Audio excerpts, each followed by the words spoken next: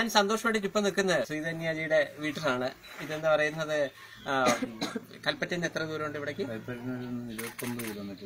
കൽപ്പറ്റയിൽ നിന്ന് ആണല്ലേ? തീർച്ചയായിട്ടും വളരെ എല്ലാവർക്കും മാതൃകയാക്കാവുന്ന നല്ലൊരു കാര്യമാണ്.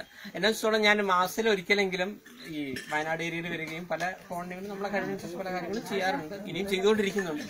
പക്ഷെ എനിക്ക് തോന്നുന്നു ഞാൻ ഈ പ്രളയത്തിന്റെ സമയത്ത് ഇവിടെ അടുത്തുവരെ വന്നിട്ട് നിങ്ങൾ എവിടേക്ക് വരാൻ പറ്റാത്തതിൽ എനിക്കിപ്പോ വിഷമമുണ്ട്.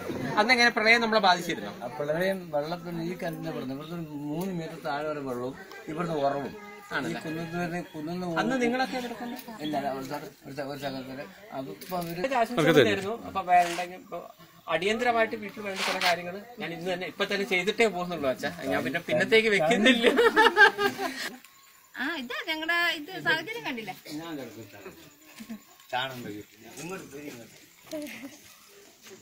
ബാക്കി റെക്കോർഡ് കാര്യങ്ങൾ ബുക്ക് ബാഗൊക്കെ ബുക്ക് തരുന്നുണ്ട്. ഒരു പടിക്കെട്ടിലും കൂടി ഞാൻ ഒരു അകട്ടിൽ അവിടെ ഒരു രണ്ട് വട്ടം ഞാൻ ചോദിച്ചിട്ടില്ലല്ലോ സാറേ. അല്ല അത് എനിക്ക് അങ്ങനെയാണ് അങ്ങനെയാണെങ്കിൽ എത്ര മക്കളുണ്ട് മൂന്നാളും. അടിയന്തരമായിട്ട് എന്താ അവിടെ ആവശ്യം? കുത്തി കിടക്കാൻ ആ കേൾക്കാൻ തൽക്കാൻ ചെറിയ കട്ടിൽ പിന്നെ ആ- സാധനങ്ങൾ വെക്കാൻ ചെറിയ തലമാരി ഞങ്ങളൊക്കെ നേരത്തെ കിടന്നോളാം ആ, അത് നമുക്കിപ്പോ സാധാരണ ഇത് മതിയോ? കട്ടിലൊക്കെ ആണെങ്കിൽ സാധാരണമായിട്ടുള്ളത് മതി മതി മതി മതി മതി മതി. ഞാനൊരു കോടീശ്വരനല്ല. എനിക്ക് വർഷത്തിൽ ഒന്നേ ഒരു സിനിമയെ ഇറങ്ങുന്നുള്ളൂ മനസ്സിലായി മനസ്സിലായി.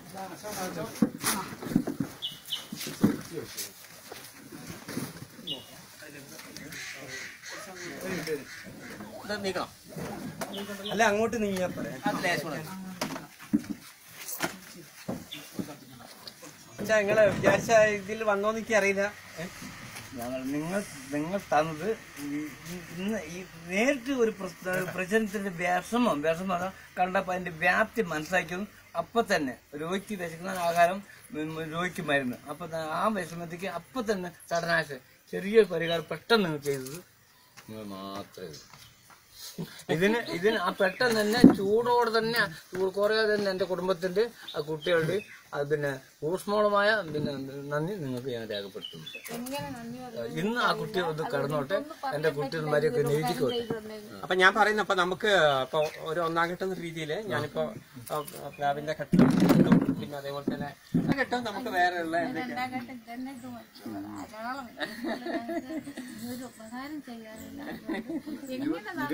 ഇരുപത്തി ഇരുപത്തി ആറ് വയസ്സായിട്ട് ഇങ്ങനത്തെ ഒരു കട്ടിൽ കണ്ടിട്ടില്ല ഒന്നാലോചിച്ച്. മുപ്പത്തിരണ്ട് വയസ്സായ കുട്ടി കണ്ടിട്ടില്ല. ഞങ്ങളും കണ്ടിട്ടില്ല. അടിച്ചുപൂട്ടി പക്ഷെ എനിക്ക് തോന്നുന്നു വെച്ചാ അന്ന് ഞാനിവിടെ വന്ന സമയത്ത് ഏതെങ്കിലും രീതിയിൽ നിങ്ങൾക്ക് എന്നെ ഒന്ന് കാണാമായിരുന്നു.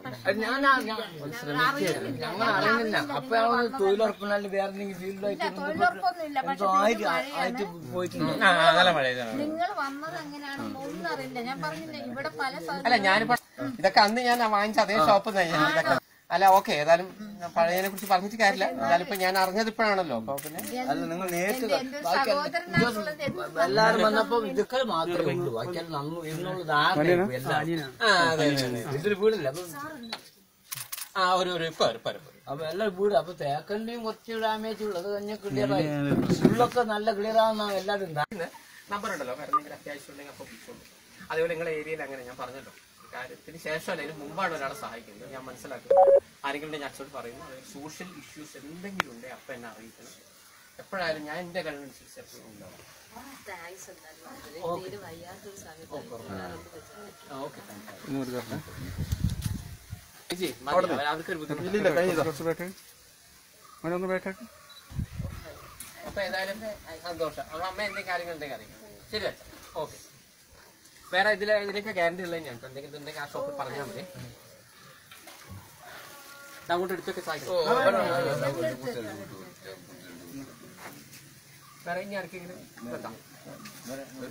ഓ പിന്നെന്താ? ഒന്നാക്കാം രണ്ടെണ്ണം എടുത്തോ. അപ്പോഴും ഈ പറഞ്ഞ ട്രീറ്റ്മെന്റ് മറ്റേ കുട്ടികൾ ട്രീറ്റ്മെന്റ് നടന്നുകൊണ്ടിരിക്കുകയാണ്. ഏ, അപ്പൊ രണ്ടും കൂടി. അപ്പം പിന്നെ അങ്ങ് അതിൽ നിന്നാണ് പിന്നെ ഈ പ്രീമെയിൻസും പിന്നെ പ്രീമിയർ മെയിൻസും ഇതൊക്കെ കിട്ടിയിട്ടുള്ളത്. അപ്പൊ ഈ മെയിൻസ് മെയിൻസ് ചെയ്തുകൊണ്ടിരിക്കുന്ന സമയത്താണ് ഈ ഫ്ലഡ് വരുന്നത്.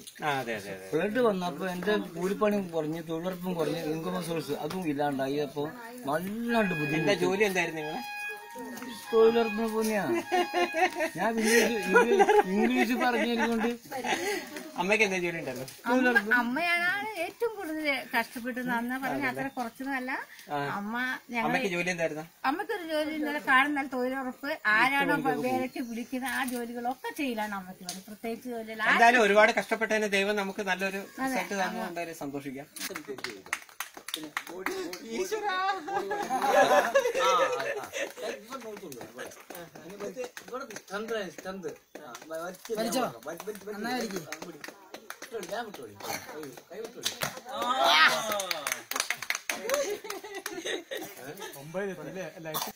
സോറി കേട്ടോ അന്ന് നിങ്ങൾ വിളിച്ചപ്പോഴേ എനിക്ക് മനസ്സിലായി.